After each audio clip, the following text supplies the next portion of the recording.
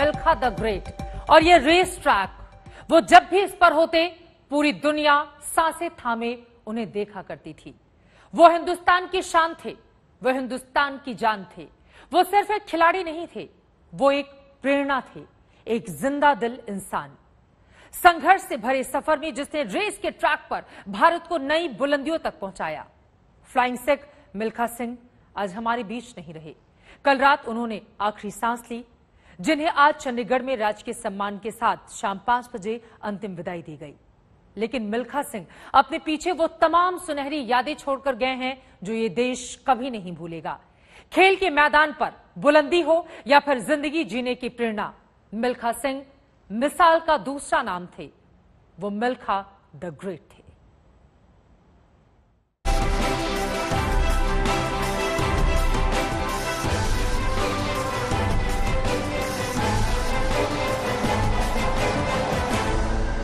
जिसके पैरों की रफ्तार तालियों की गूंज में तब्दील हो जाती थी, आज वो खामोश है। थम गई वो रफ्तार जिस पर हिंदुस्तान को नाज था। ठहर गई वो दौड़ जिसके आगे मील के पत्थर छोटे पड़ जाते थे। खत्म हो गई गुर्बत से बुलंदियों तक पहुँचने की कहानी। ज़िंदगी को ज़िंदा दिली से जीने वाले मिल्खा सिंह आज खामोश हैं। मिल्खा सिंह, इन दो शब्दों में एक जिद थी, जुनून था, दुनिया को मुट्ठी में करने का जज्बा था। मिल्खा सिंह, इन दो शब्दों में एक सपना था, हिंदुस्तान के झंडे को मैदान में सबसे ऊपर देखने का। ये दुनिया छोड़ने से पहले मेरी ख्वाहिश है कि कोई ना कोई ऐसा हिंदुस्तानी यहीं से उठना चाहिए, चाहे लड़का हो या लड़की हो।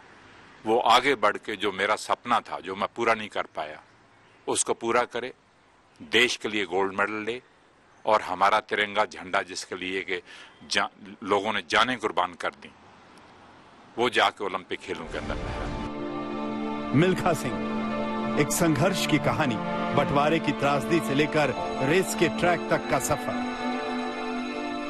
कामयाबी की ऐसी कई कहानियाँ हैं, जिनके नायक मिल्खा सिंह रहे। ऐसे कई मौके, ऐसे कई लम्हे भारत माँ के इस सपूत ने देश को दिए, जब गर्व से पूरे मुल्क का सिर ऊँचा हो गया।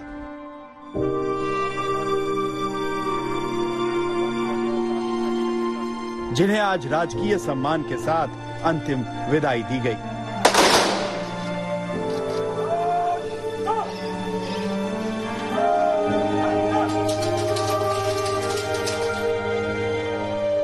चंडीगढ़ के पीजीआई अस्पताल में मिल्खा सिंह ने 18 जून की रात अंतिम सांस ली। मिल्खा सिंह और उनकी पत्नी दोनों कोरोना के चपेट में आ गए। 30 मई को मिल्खा सिंह अस्पताल से घर आ गए। 3 जून को तबीयत बिगड़ी तो उन्हें दोबारा अस्पताल में भर्ती कराना पड़ा। 13 जून को पत्नी निर्मल दुनिया छोड़ गई और 18 जून को मिल्खा सिंह भी नहीं रहे। खेल के मैदान का शेर अलविदा कह गया। प्रेरणा, जुनून और जिद का एक अध्याय खत्म हो गया।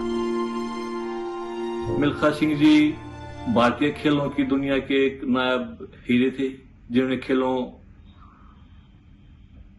को आगे बढ़ाने में बहुत बड़ा योगदान दिया। खेलों, खिलाड़ी क्या होता है, उसके मायने बताए छोटा बच्चा जब भागता है तो बोलते हैं कि, मिल्खा सिंह बनना है तेरे को।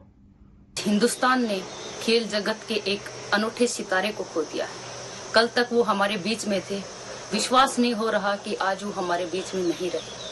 मैं भगवान से प्रार्थना करूँगी कि भगवान उनकी आत्मा को शांति दे और अपने श्री चरणों में उनको स्थान दे। मैदान पर एक युग का अंत हो गया जिससे जुड़ी हर किसी की अपनी यादें हैं।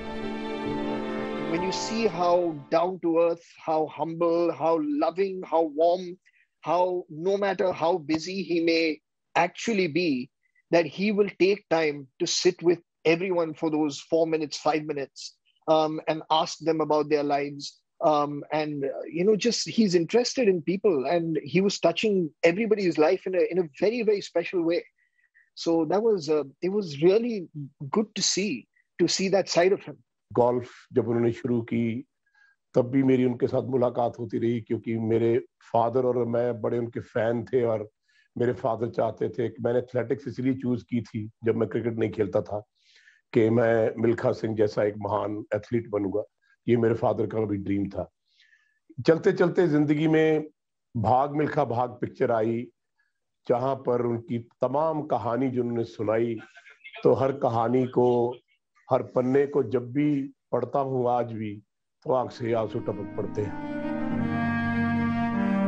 वो फ्लाइंग सिख थे। वो अब यादों में हमेशा ज़िंदा रहेंगे।